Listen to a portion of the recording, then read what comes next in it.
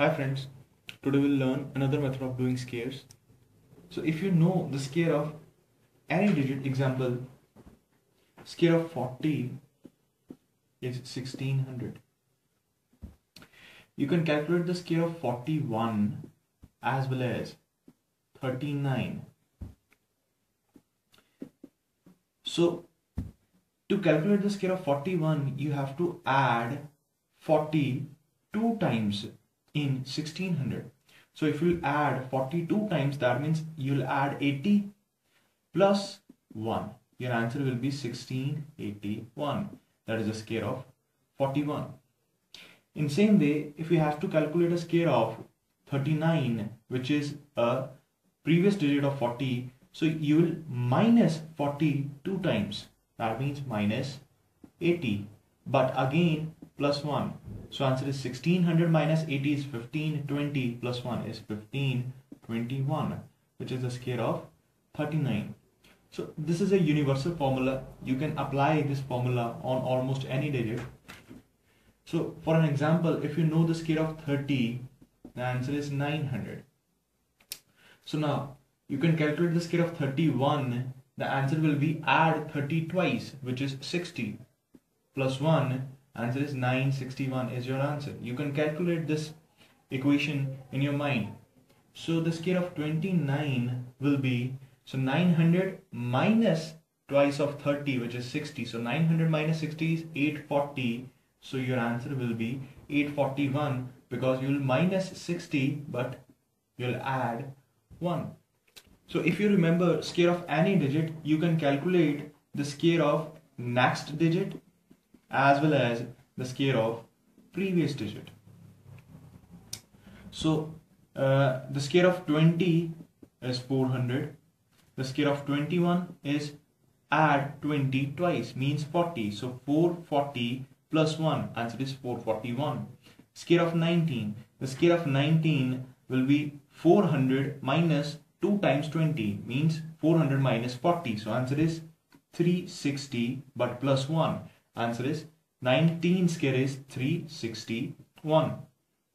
Here, you can calculate the square of 10, 20, 30, 40, 50, 60 and so on. The answer of 10 square is 100, 20 square is 400, 30 square is 900, 1600, 2500, 3600, 4900, 6400 and 8100. 10,000. Scale of 15 is your last two digits will be 25. Your next digit will be, will multiply 2 with 1. That means you will multiply 1 with the next digit. The next digit is 2. So 2 ones are 2 ones is 225. So here you will multiply 3 with 25. So answer is 625. Remember we are doing squares. So square of 35 is 3 into 4 answer is 12 25. Square of 45 is 4 5s are 20 25. Square of 55 is 60 sorry 30 25. Square of 65 is 6 7s are 42 25. Square of 75 is 8 7s are 56 25. 72 25. So last two digits will always remain 25. So 95 is 9 tens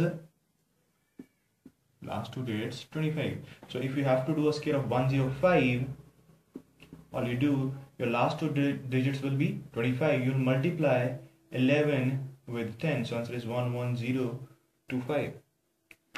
So here you know the scale of 65.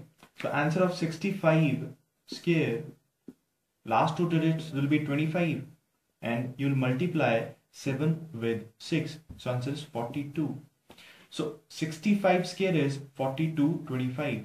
So 66 square will be, you'll add 65 twice, two times. That means you'll add 130. So you'll add 130 plus 1. That will be your answer of 66 square. So 6, 5, 3, 4.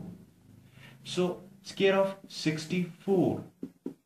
Here you'll minus 130 from 4225 plus 1. You'll get the square of 64 which will be 4096. square of 80 is 6400.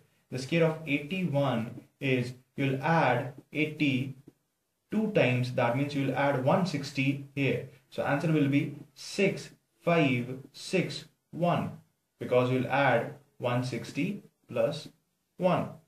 To calculate the square of 79 you'll minus 160 from 6400. So your answer will be 6245